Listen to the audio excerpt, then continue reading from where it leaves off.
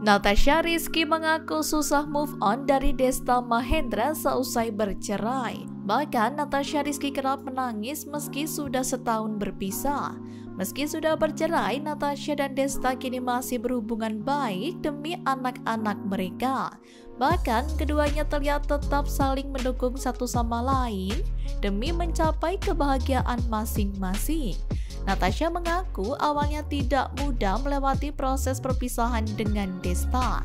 Ia pun merasa banyak hal baru yang didapatkan setelah menjadi ibu tunggal bagi anak-anaknya.